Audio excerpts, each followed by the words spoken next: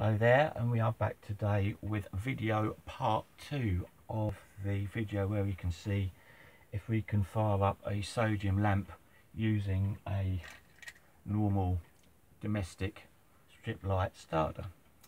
Now not all things go to plan so in fact to tell you now for you who said yes you are wrong we had nothing in there it wouldn't fire or do anything so this just proves doesn't it that what planned doesn't always happen. So this is why we experiment and that's what it's about, experimenting. I'm going back to the drawing board and I'm going to look at this again and see if I can design another circuit to get it going. Meanwhile, meanwhile I'll show you the uh, the tray that I, that I built, which is here. I'll bring the camera around in a minute. Um, also, I've put on now a actual proper igniter, Philips igniter, so everything is working great. So we'll show you how that goes as well and we'll have a look at the bulb going. So I'm going to move you. Did you hear me say bulb?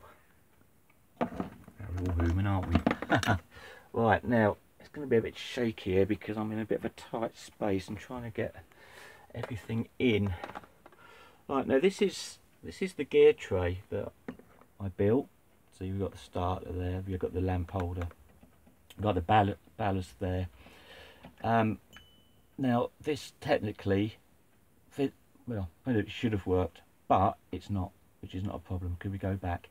Now, if you think, if you look at this and you think there's something that should be somewhere, or if you've got an idea of a circuit to do this, leave your comments below and we'll see if we can do it. Now, if you're not competent with electric, don't do this because if you put the wires the wrong way, well, you, this won't light up, you'll light up.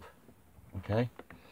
So anyway, I do it here so to show you. But if you've got any any thoughts on this, give us a shout.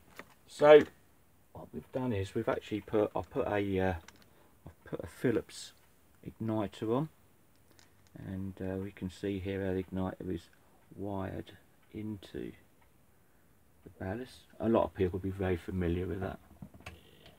And here we are firing up the lamp, settling down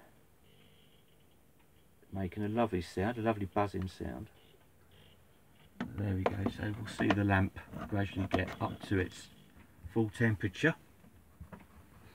This is a 50 watt lamp, this one. Um, thing is you can't really see the true colour glow of it through the camera phone lens, but it is glowing up quite nicely. Shouldn't really look into these things, but without your glass, and definitely never a metal halide lamp. Gives you arc eye and that's nasty. And I have experienced that. So basically the tray's been done. I'm going to play around with it again and I'll bring you some more videos in as soon as I get them. Uh, this is firing up lovely. Didn't know I had a, had a uh, an SN57 igniter. So it does shows yes sometimes you do need the correct equipment to fire these lamps. Uh, sometimes you don't you can get away with it. What we need to do is we need to look at a self uh, ignited lamp with igniter inside. Um, I haven't got one of these actually spare but I will get one. I should put a video out so you can see how the igniter in a lamp a self-igniting lamp looks like one of these strip light starter. Very very similar okay so we'll look at that in a future video as well. But as far as the experiment went it didn't happen. I shall go away. I shall dabble around with a bit of thought and my pens and I shall design out another another circuit so to see if we can do. Now that is getting bright so I'm now going to switch that off. There we go.